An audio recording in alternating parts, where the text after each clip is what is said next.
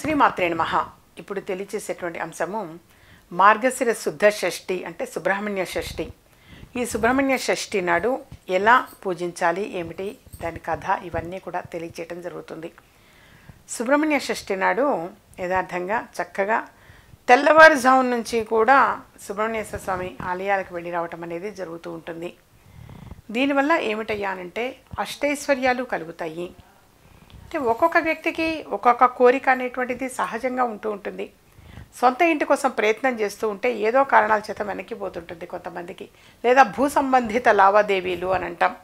వాటికి సంబంధించి కానీ తప్పనిసరిగా సుబ్రహ్మణ్య షష్ఠి నాడు ఇలా ఆరాధించాలి. ఎందుకు దాని గల కారణము అని అంటే భూ సంబంధిత లావాదేవీలు కావచ్చు. ఇవన్నీ కూడా కుజుడికి సంబంధించింది. సో కుజుడిని ఆరాధించాలంటే కుజుడు ఏమిటి? భూమిపుత్రుడు కుజుడు. కుజుడుకు అధిపతి ఎవరు? అంటే సుబ్రహ్మణ్యేశ్వర స్వామి. సుబ్రహ్మణ్యేశ్వర స్వామి అని అంటే మరి పాముకెందుకు పూజ చేస్తారు? పాము పుట్టకెందుకు చేస్తారు? అని అంటే సుబ్రహ్మణ్యేశ్వర స్వామి సర్పరూపం దాల్చాడు. సర్పరూపం దాల్చాడు కాబట్టి ఆ సర్పం అనేది పాము పుట్టలోనే అది పాము అనేటువంటిది పుట్టలోనే ఉంటుంది కాబట్టి ఆ పుట్టలో పాలు పోయటము అనేటువంటిది వస్తుంది. అంటే దీనికి గల కారణము తెలియచేస్తున్నాను కొంతమందికి సందేహం కలగచ్చు కదా. సో అందుకని మనం పాము పుట్ట పుట్టలో పాలు పోయటము ఆరాధించటం అనేటువంటిది జరుగుతుంది. అలాగే సొంత ఇల్లు కావాలి అన్నా త్వరగా వివాహం జరగాలి అనన్నా చక్కని సంతానం కలగాలి అన్నా వంశవృద్ధి కావాలి వృద్ధి చెందాలి అని కోరుకుంటూ ఉంటారు. అలా వంశవృద్ధి చెందాలి అనన్నా సుబ్రహ్మణ్యేశ్వర స్వామి అనుగ్రహము అనేది తప్పనిసరిగా ఉండాలి. అందుకని చెప్పేసే మరి ఈ సుబ్రహ్మణ్యేశ్వర స్వామికి సంబంధించి మరి సుబ్రహ్మణ్య షష్ఠి అని అంటే చాలా సింపుల్గా కూడా తెలియచేయటం జరుగుతుంది. మార్గశిర శుద్ధ షష్ఠి సుబ్రహ్మణ్యేశ్వర షష్ఠి. ఆ రోజు ఉదయాన్నే లేచి శుచిగా తలస్నానం చేసి ఉపవాస దీక్షను చేపట్టి నువ్వుల నూనెతో దీపారాధన చేయాలి. పూజా మందిరంలో గల సుబ్రహ్మణ్యేశ్వర స్వామికి పంచామృతాలతో అభిషేకం చేయాలి. లోక సంరక్షణార్థం పరమేశ్వరుని తేజస్సు నుంచి సుబ్రహ్మణ్య స్వామి వారు అవతరించిన రోజే ఈ సుబ్రహ్మణ్యేశ్వర షష్ఠి. సుబ్రహ్మణ్యేశ్వర షష్ఠి లేదా సుబ్రహ్మణ్య షష్ఠి దీపావళి పండుగ తర్వాత విశేషంగా జరిగే ఉత్సవం దీనినే స్కంద షష్ఠి అని సుబ్బరాయ షష్ఠి అని కూడా అంటారు. సుబ్రహ్మణ్యేశ్వరుడు ఆవిర్భవించిన రోజును ఈ పండుగగా జరుపుకుంటాము.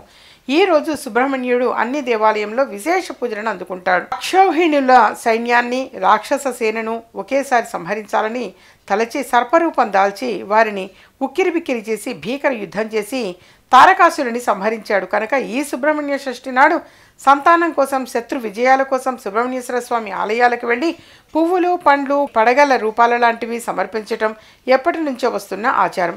వల్లీ దేవసేన సమేత సుబ్రహ్మణ్యేశ్వర స్వామి కళ్యాణమును చూసిన వారికి వివాహములలో ఉండే ఆటంకాలు తొలగిపోతాయి. అంతేకాక సుబ్రహ్మణ్య ప్రతిష్ఠ చేసిన వారికి సంతానం కూడా కలుగుతుందని నమ్మకం కూడా ఉంది. విశేషించి షష్ఠి నాడు కుమారస్వామి ఆలయానికి పాలకావడి అంటే పంచదారతో పాలతో నిండి ఉండే కుండలుని అర్పించిన వారికి వంశవృద్ధి కలుగునని విశ్వాసం. సుబ్రహ్మణ్యేశ్వర స్వామికి ఉన్న పేర్లు షణ్ముఖుడు అంటే ఆరు ముఖాలు కలవాడు. అందులో మొదటిది స్కందుడు. పరమశివుని స్థలనం వలన ఆవిర్భవించాడు స్కందుడు. రెండు కార్తికేయుడు. కృత్తికా నక్షత్ర సమయంలో అవతరించాడు. మూడు వేలాయుధుడు. శూలము ఆయుధంగా గలవాడు. శరవణ భవుడు. శరవణము అంటే తటాకములో అవతరించినవాడు. గాంగేయుడు. గంగలో నుండి వచ్చినవాడు. సేనాపతి. దేవతల సేనానాయకుడు. స్వామినాథుడు. శివునకు ప్రణవమంత్రము ఉపదేశం చేసినవాడు సుబ్రహ్మణ్యుడు. బ్రహ్మజ్ఞానము తెలిపినవాడు మురుగన్. తమిళంలో పిలుస్తారు. అంటే మురుగన్ అని తమిళంలో పిలుస్తూ ఉంటారు. ఒక చేతిలో మహాశక్తి ఆయుధాన్ని ఒక చేతిలో ప్రకాశవంతమైన వజ్రాయుధాన్ని ఇంకొక చేతిని కటిపై ఉంచి మరొక హస్తంతో అభయప్రదానం చేస్తున్న శ్రీ సుబ్రహ్మణ్యేశ్వరునికి నమస్కారాలు అని శరణు వేడిన వారికి శక్తియుక్తుల్ని ఐశ్వర్య ఆరోగ్యాలను ప్రసాదిస్తాడు. సుబ్రహ్మణ్య షష్ఠి రోజున దాన ధర్మాలు చేయడం చాలా పుణ్యప్రదంగా పరిగణించబడుతుంది. ఈ రోజున పేదలకు నిరుపేదలకు బట్టలు ఆహారం మరియు ఇతర నిత్యావసరాలను దానం చేయడం మంచి చర్య. సుబ్రహ్మణ్యేశ్వర స్వామి జన్మించిన మార్గశిర శుద్ధ షష్ఠి సుబ్రహ్మణ్య షష్ఠిగా చెప్పబడుతోంది. సుబ్రహ్మణ్యేశ్వర స్వామిని పూజించటం వలన ఆయన అనుగ్రహంతో పాటు పార్వతీ పరమేశ్వరుడ కరుణా కటాక్షాలు కూడా లభిస్తాయి అని చెప్పేసి పండితులు తెలియచేస్తున్నారు. అందుకని ఈ సుబ్రహ్మణ్యేశ్వర షష్ఠి నాడు చక్కగా సుబ్రహ్మణ్యస్వామిని ఆలయానికి వెళ్ళి రావటము దర్శనం చేసుకోవటము అలాగే పాము పుట్ట ఉంటే పుట్టలో పాలు పోయటము పుట్టలో పాలు పోసి చక్కగా పుట్టమనుని ఇలా ధరించటము సంతానం కలగటం లేట్ అవుతుంది అనుకున్నవారు ఆ పుట్టమ్మను కొద్దిగా తీసి ఇలా గర్భానికి రాసుకోవటము గర్భదోషము అనేది ఏదైనా ఉంటే ఒక ఉండి ఉంటే అది తొలగిపోయే అవకాశం ఎక్కువగా ఉంటుంది. కాబట్టి పుట్టమన్ను అనేటువంటిది కొంచెం గర్భానికి రాసుకోవాలి నాన్న. అలాగే ఎప్పుడు కూడా తెలియచేస్తుంటా ప్రతి మంగళవారం కూడా కొంతమంది వెళుతూ ఉంటారు. పుట్టలో పాలు పోస్తుంటారు. వాళ్ళు కూడా అంతే. పుట్టమన్నుని కొంచెం గర్భానికి రాసుకోవటం పుట్టమన్ను ధరించటం వలన దృష్టి దోషం అనేది పోతుంది నెగటివ్ అనేది పోతుంది. ఎవరైనా ఏమైనా సరే చెడు తలపెడుతున్నారు ఏదో అవి ఇవి చేస్తున్నారు అని చెప్పేసి ఎవరిలో అయినా ఒక భయం అనేది ఉండి ఉన్నా అవన్నీ కూడా తొలగిపోతాయి నాన్న భయపడాల్సిన అవసరం లేదు.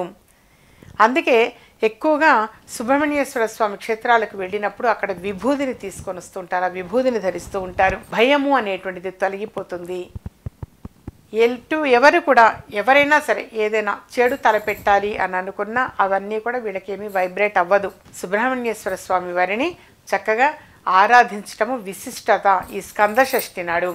అలాగే నేను ఈ డిసెంబర్ నెలలో పదిహేడవ తారీఖు ఆదివారం రోజున వైజాగ్లో అందుబాటులో ఉంటాను. డిసెంబర్ పద్దెనిమిదవ తారీఖు రెండు వేల ఇరవై మూడవ సంవత్సరము. అంటే ఈ సంవత్సరము నేను ఈ నెలలో డిసెంబర్ పదిహేడు వైజాగ్ పద్దెనిమిది రాజమండ్రిలో అందుబాటులో ఉంటాను. అక్కడ అపాయింట్మెంట్ తీసుకొని కలవచ్చు. అక్కడ వాస్తవ్యులు ఆ పరిసర ప్రాంతంలోని వారు ఎవరైనా సరే. అలాగే దైవిక వస్తువులు కావాలన్నా అక్కడికి వచ్చి కలెక్ట్ చేసుకోవచ్చు. ఎవరికైనా సరే కాంబో ప్యాక్ ఆఫర్ అని చెప్పేసి కూడా తెలియచేస్తుంటా. ఆ కాంబో ప్యాక్ ఆఫర్ కావాలి అనుకున్నా అక్కడికి వచ్చి కలెక్ట్ చేసుకోవచ్చు. మా ఛానల్ సబ్స్క్రైబ్ చేసుకోండి షేర్ చేయండి. ఇలాంటి మరిన్ని ఇంట్రెస్టింగ్ వీడియోస్ చూడాలనుకుంటే మా ఛానల్ని సబ్స్క్రైబ్ చేసుకోండి. పక్కన కనిపిస్తున్న ఈ గంట సింబల్ని ప్రెస్ చేయండి.